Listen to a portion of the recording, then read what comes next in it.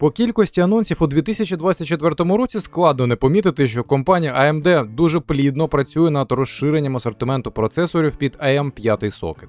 7000 серія для десктопів, 8000 гібридних APU на заміну 5000 G серії. Вже є й 9000 лінійка на Zen 5.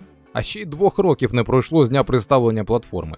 При цьому, як би дивно це не було, але й сокет попередник відправляти на смітник ніхто не збирається. Навпаки, цього року ми протестували не одну новинку під am 4 і ось це сталося знову.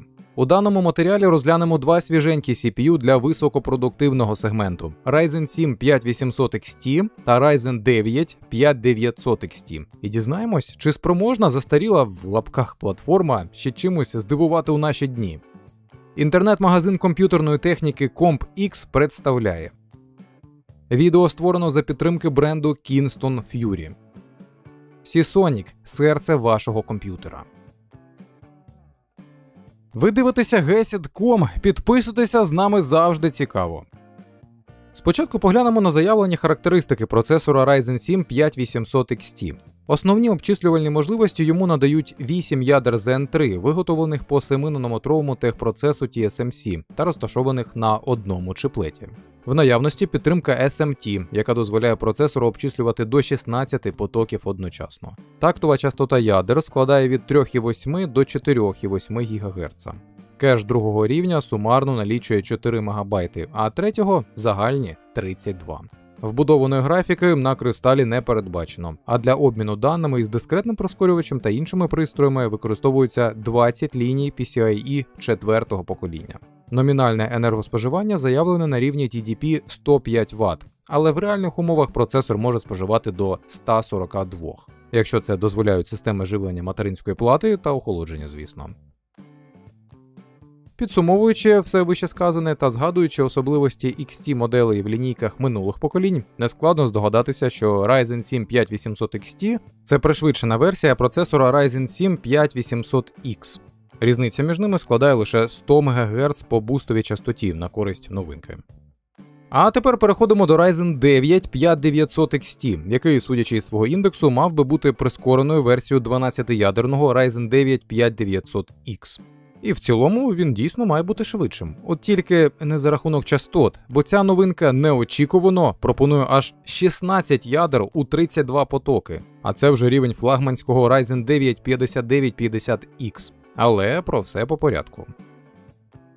Ryzen 9 5900 XT конструктивно пропонує два чиплета по 8 ядер Zen 3 в кожному. Обсяг кеш пам'яті сумарно 8 МБ L2 та 64 МБ L3.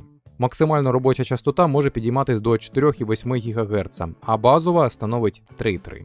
Заявлене енергоспоживання складає вже знайомі 105 Вт, які в реальних умовах можуть перевищувати 140. Вбудованої графіки тут теж немає, а з дискретною чип спілкується завдяки наявності 20 ліній PCIe 4.0.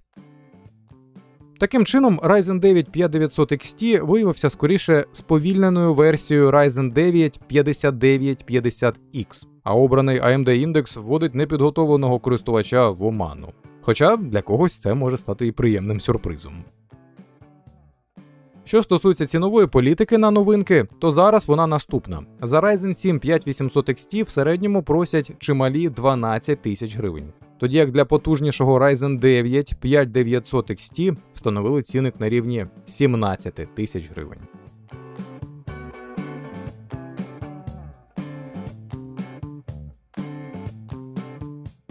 Порівнювати обидві новинки будемо на одній платформі всередині лінійки із наступними суперниками. Дуже цікавий вже згаданий раніше Ryzen 7 5800X. На його прикладі дізнаємось, чи є якийсь сенс доплачувати на старті продажів майже 3000 гривень за додаткові 100 МГц бустової частоти. Або краще дочекатись стабілізації ціни вже тоді зробити остаточний вибір.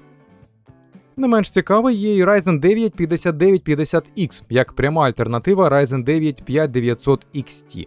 Перший так само оперує 16 ядрами і 32 потоками, але має на 100 МГц вищі базові і бустові частоти у 3,4 та 4,9 ГГц відповідно. Тобто, по суті, 16-ядерна новинка це на сотню МГц уповільнений топ лінійки. У всьому іншому це абсолютно однакові CPU. Що ж до цін, то і у даному випадку вони поки що не логічні, бо саме зараз Ryzen 9 5900 XT із його нижчими частотами коштує приблизно на 300 гривень дорожче.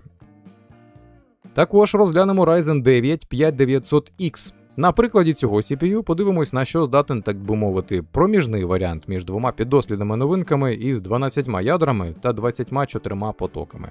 Та й, якщо чесно, спочатку ми думали, що Ryzen 9 5900 XT це його пришвидшена версія, тож оцінимо різницю продуктивності. Тим більше ціна процесора теж виглядає цікавою на тлі новинок. Як і старший чип, це теж двочиплетне рішення, але у кожному з чиплетів відключено по два фізичних ядра. Його робочі частоти лежать в діапазоні від 3,7 до 4,8 ГГц, а сумарний кеш другого та третього рівнів налічує 6 та 64 МБ відповідно. По живленню нічого нового. Як і у всіх, без виключення учасників, воно обмежено 142 ватною планкою. Процесори на тест потрапили до нас завдяки магазину CompX. Окрім них, тут є широкий асортимент різноманітних комп'ютерних комплектуючих по приємним цінам, як нових, так і вживаних, готові ПК і ноутбуки, монітори, периферія, мережеве обладнання та багато чого іншого. А за допомогою програми Trade-in можна навіть здати своє старе залізо та отримати знижку на нове. Новий же ПК допоможе зібрати функціональний конфігуратор. Ну і зверніть увагу на зовсім не нудні інстаграм та тікток цього магазину. Усі посилання, як завжди, під відео.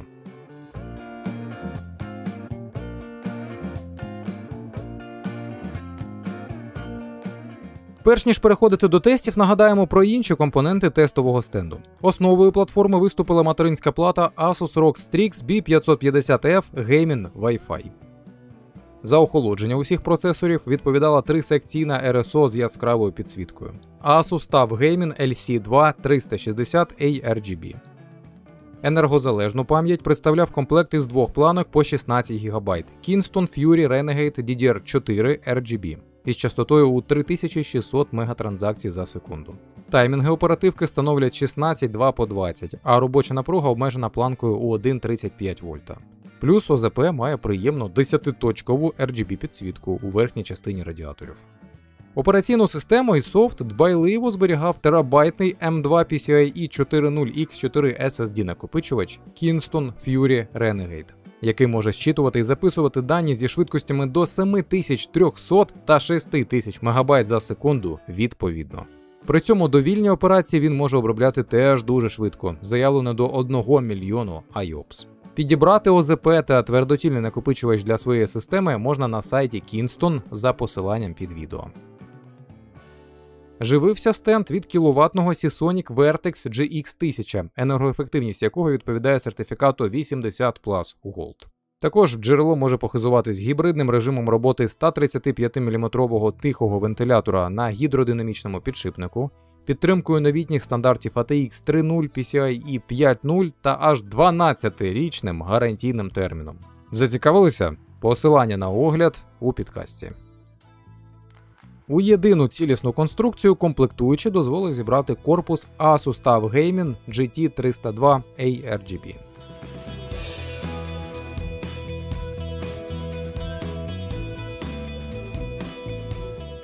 Ну що ж, почнемо з перевірки температур. Прогрів цього разу ми вирішили провести у розширеному режимі. Побалуємось із різною кількістю активованих ядер на обох піддослідних CPU, щоб оцінити алгоритми роботи процесорів по даному напрямку. Отже, у режимі без суттєвого навантаження температура Ryzen 7 5800 XT більшість часу знаходилась біля позначки у 40 градусів при споживанні близько 30 Вт. Ryzen 9 5900 XT у аналогічних умовах споживав 40-45 Вт і грівся до 45 градусів. Під повним навантаженням у Фюрмарк температура молодшого чипу злетіла до максимальних значень як по температурі у 90 градусів, так і споживанню у 140 Вт. При цьому частота усіх ядер після 10-хвилинного прогону в середньому знаходилась на позначці у 4550 МГц. Старший CPU у 32-потоковому режимі сильно скинув частоту на усіх ядрах до 3,8 ГГц і на 10 Вт не дотягнув стелі енергоспоживання. Відповідно, він і грівся менше, усього до 65 градусів. Тобто у даному випадку напрошується цілком логічний висновок. При однаковій максимальній планці споживання процесори із більшою кількістю ядер працюють на менших частотах. При задіянні 8 ядер у 16 потоків частота на найшвидшому ядрі Ryzen 9 5900 XT знаходилась на рівні 4100 МГц, що приблизно на 450 МГц нижче, ніж у Ryzen 7 5800 XT. При цьому CPU майже досяг ліміту споживання, але через відчутно нижчу частоту нагрівся усього до 70 градусів після 10 хвилин тесту. Заради цікавості ми перевірили процесори і у чотирьохядерному восьмипотоковому та одноядерному режимі, результати яких ви зараз бачите на екрані. Тут відмітимо, що при навантаженні на одне ядро обидва CPU досягають частоти у 4,9 ГГц, що на сотню МГц вище максимально заявленої.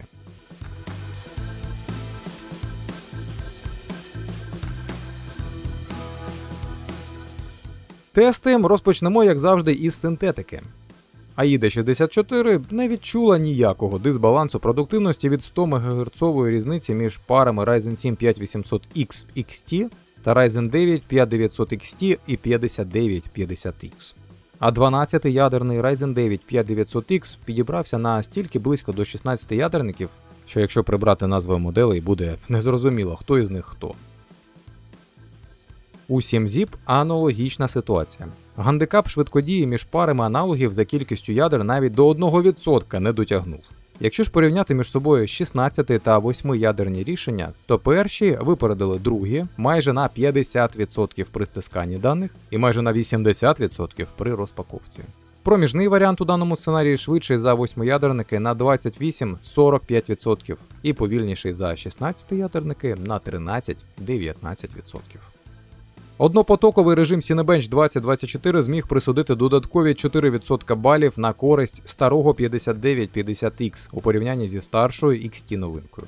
У парі ж 5800 процесорів усе стабільно, хоча XT-версія і змогла отримати на одного папугу більше. Продуктивність Ryzen 9 5900X у даному режимі ближче до молодших CPU, ніж до старших.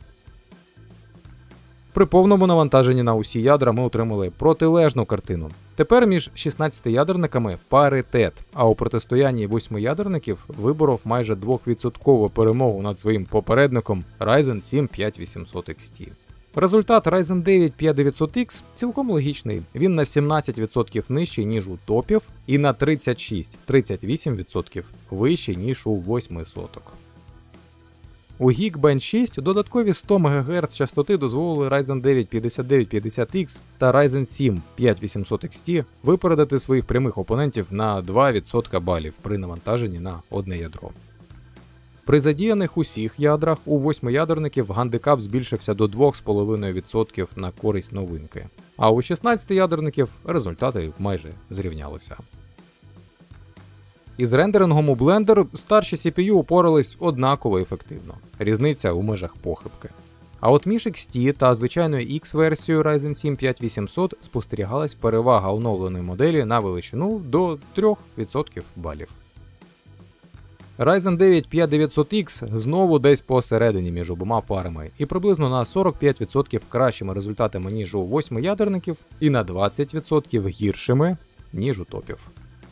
У Geekbench 6 AI важливішим виявився один CCD блок восьмиядерників і їх вищі робочі частоти при навантаженні на усі ядра. У двох із трьох підтестів вони випередили навіть старші моделі на величину до 6% балів.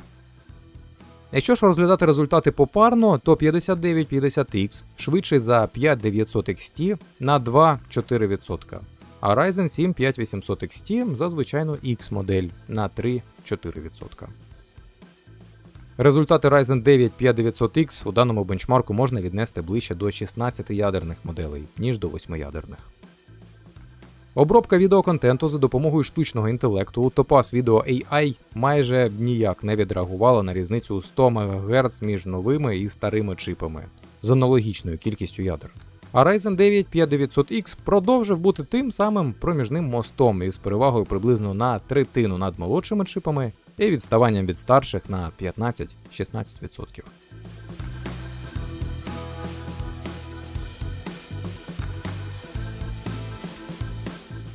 А зараз подивимось, наскільки ефективно процесори зможуть розкрити можливості найпотужнішої на сьогоднішній день відеокарти RTX 4090 на максимальних налаштуваннях графіки у Full HD.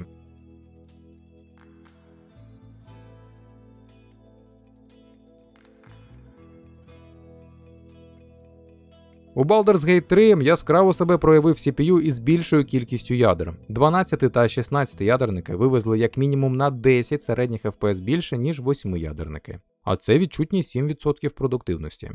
При цьому у парних порівняннях різниця виявилась незначною як у старших, так і у молодших моделей. Усього до 3 FPS, що й до 2% не дотягує.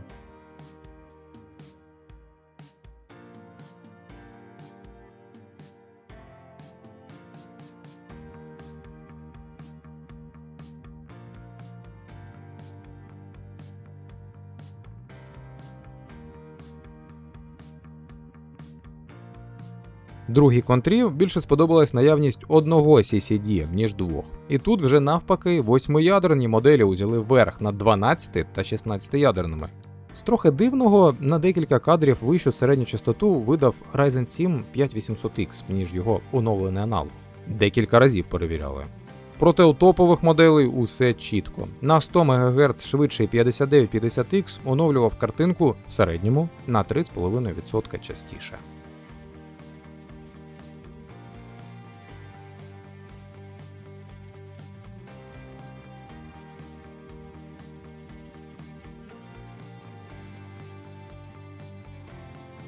У Cyberpunk 2077 знову перехопили пальму першості двочиплетні процесори, хоча і з мінімальною перевагою над одночиплетними до 4% по середньому FPS. При цьому результати усіх трьох старших рішень, щонайменше по середньому лічильнику, майже повністю ідентичні, втім, як і молодших теж. Трішки гіршу статистику по найдовшим кадрам продемонстрував Ryzen 7 5800X, але не настільки, щоб робити на цьому акцент.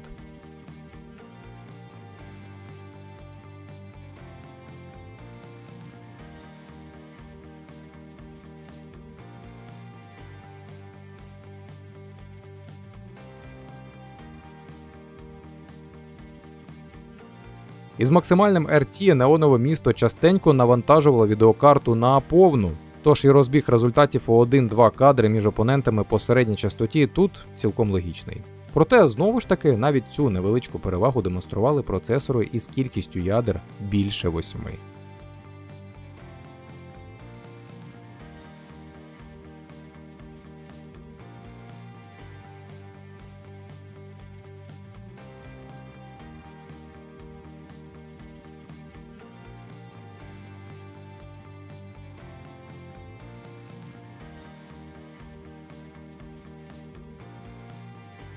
У п'ятій форзі можна вже вдруге відмітити гірші приблизно на 10% показники 0,1% лоу у Ryzen 7 5800X в порівнянні із аналогічною за кількістю ядер XT-шкою.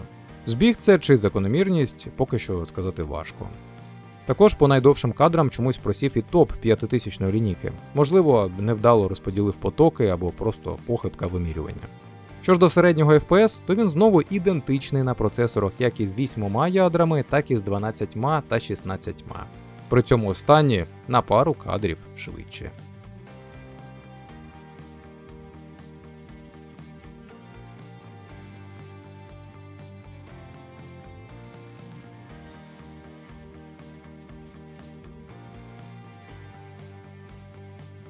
У Horizon Forbidden West новинки трохи втомились. І якщо відставання 5900 XT на 6% середньої частоти від 5950X ще якось можна нормально сприйняти, то зрозуміти, що саме допомогло CPU з 12 ядрами вирватись уперед на майже 5% проблематично. Ще дивніша аномалія трапилась у протистоянні восьмиядерників. Тут Ryzen 7 5800X несподівано обігнав свій оновлений аналог на ті ж 6% по середньому лічильнику.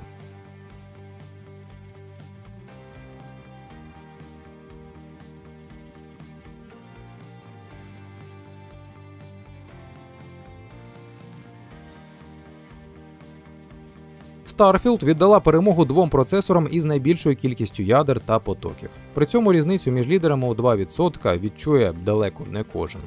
Ще стабільніша ситуація у 5800 моделей з гандикапом у один кадр на користь новинки. Та найцікавіше у даному сценарію те, що грі не сподобались відключені ядра Ryzen 9 5900X, і останній навіть восьмиядерникам поступився майже 7% середнього FPS.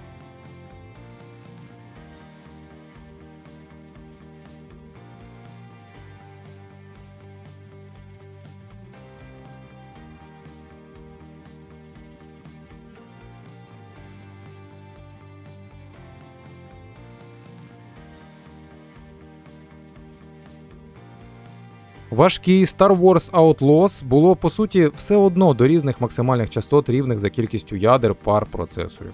Проте по середньому лічильнику з обома 16 ядерниками система змогла оновлювати картинку на 2-3 кадри частіше, ніж з усіма іншими суперниками.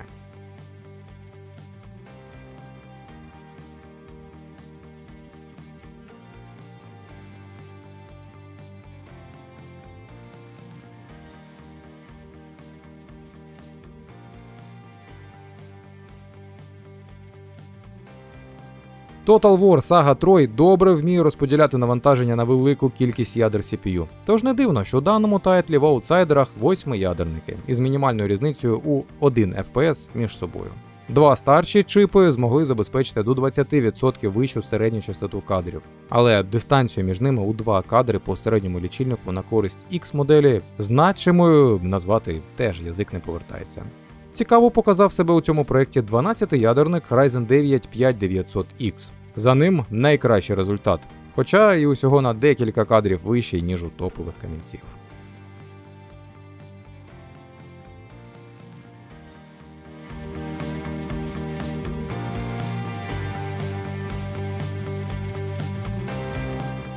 Підводячи до підсумків, важко сказати на даному етапі, наскільки доцільною є покупка обох новинок. У синтетиці Ryzen 7 5800 XT майже ніяк себе не проявив з позитивної сторони на фоні звичайної X моделі. А у іграх його додаткові бустові 100 МГц тільки у деяких випадках дозволяло отримати або більший на пару кадрів середній FPS, або трішки кращі показники дуже рідкісних подій. Про Ryzen 9 5900 XT у бенчмарках можна сказати те ж саме у порівнянні із топом лінійки, але даний факт можна записати як плюс на рахунок першого. Бо незважаючи на 100 МГц нижчу частоту, результати йому вдалося видати ідентичні.